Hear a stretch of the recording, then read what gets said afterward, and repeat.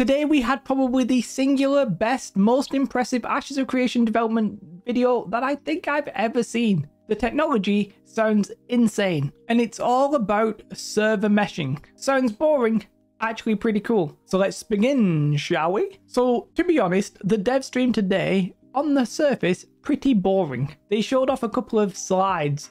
Granted, they were animated, but not a lot to visually look at, and it was about an hour and 15 minutes long. I'm going to give you sort of like TLDW, but if you're a nerd and you like these kind of things, go watch the whole thing. I'll leave a link in the description. Now, one of the slides talks about the requirements, and the first thing that I noticed on here is the fact that they confirm no layering. Layering or shards or lines if you play Tarisland basically enables you to have more players on a server, which I'm going to start calling realm from now because it's just going to make this whole lot easier. But on that singular realm, you could be in the same place as somebody else, but you don't see them because they're on a different layer.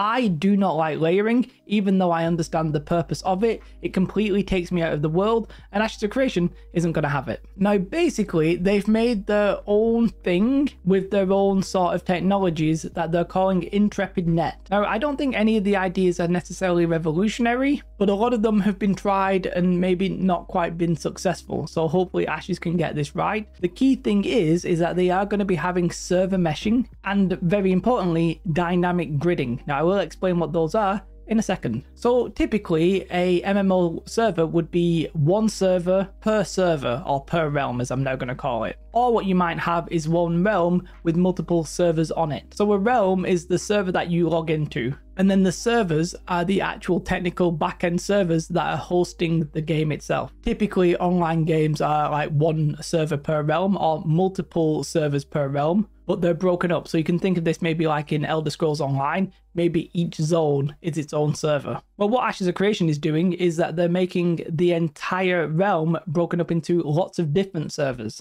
And obviously it will all be seamless and they're not instanced. And this is the important bit. So there will literally be a barrier where one server starts and the other server begins. Now, when you actually play the game, you won't see the barrier, but for testing purpose, they actually sort of showed it off. And first they sort of show that you can see people on the other server and they talk about how this is achieved later, but I'm pretty much going to skip this. And then they talk about how you can actually interact with people on the other server. So you can sort of shoot them and fight them and damage them between the servers. The servers on some level are sort of talking to each other and they have to handle a lot of complicated issues. Like if you walk between one and another, you have to be able to see the movements exactly. You have to be able to see what they're wearing, all that kind of stuff, right? It's quite complicated. That in itself is already quite big. As I said, a lot of other MMOs typically have instance servers, but you don't really interact with them, or at least they're never like butted together. In New World, Outpost Rush is its own server, but the open world, I think, is all one. I think that might be the same for World of Warcraft, but maybe it's continent.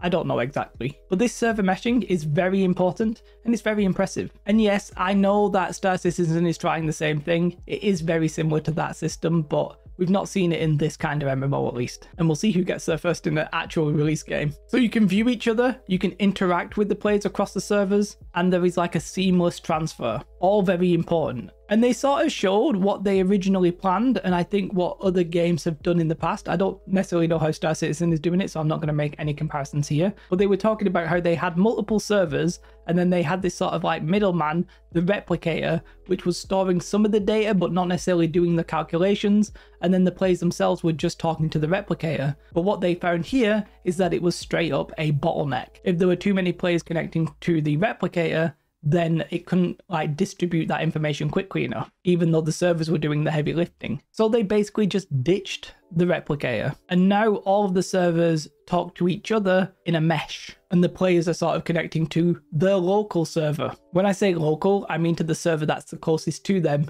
in the game, not in terms of like the world in real life. They do talk about how if one of these servers goes down, then the entire realm doesn't have to go down. It might be that only the players affected go down. Now, a bit of me sort of worries that that could maybe be like militarized. Maybe you could get some advantage to trying to crash a server somewhere, but leaving it up elsewhere. Sort of think like when the whole server goes down, at least that's sort of fair because everybody's either in or not in. Having it be that some people can't get in might be a little bit weird but you know, it is what it is. Then they basically talk about the problem. What happens if you have two people who are on servers that are quite far away? How do they interact with each other? You know, global chat, whispers, auction house information, all that kind of stuff, right? How does the information get passed between those? Because those servers aren't necessarily connected. And if you just have one server connecting to all the servers, then that doesn't solve the problem at all. Then they basically say we created a concept called microservices which sort of kicked off my chat a little bit because microservices apparently have been around quite a bit and other games use them. But effectively, it's sort of like separate servers. You can think of it as basic as that, that are maybe in the cloud that every other server connects to and can talk to. But it's only doing like a specific process. Maybe it's telling you the status of nodes, maybe it's guild chat, maybe it's, you know, personal mail between players and that kind of stuff. So that's what they're going with. You have a mesh of servers all talking to each other, basically just talking to its adjacent friend, where players can seamlessly sort of fight between the lines, move between, etc. And then you have these microservices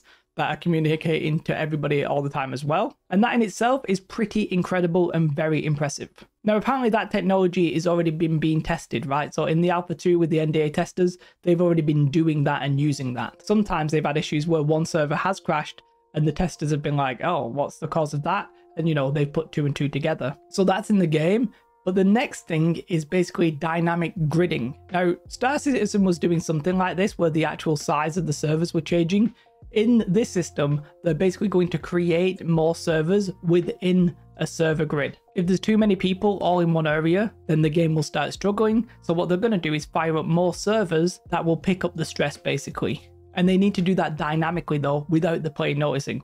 All of this is pointless if the player starts noticing the seams. You shouldn't notice the seams, and you won't notice the seams if things work. This technology with the dynamic gridding is very, very impressive, and apparently should be there in Alpha 2 which is pretty incredible. If they can make this work, this will be truly impressive. Now, I do have a little bit of a question that, you know, as a layman, I don't quite understand why Throne of Liberty can basically have like a thousand v a thousand and not have too many problems without having a system like this. Maybe it's client side, maybe they actually do have a system like this, but they just don't talk about it. I don't know because, you know, in this stream, they were talking about how the devs don't talk about this. So Maybe Throne and Liberty does this, I don't know. But either way, this is very impressive and one of the most amazing things I've seen from an MMO dev, to be honest with you. They then go on to talk about a bit more, but if I'm honest, it's not that interesting.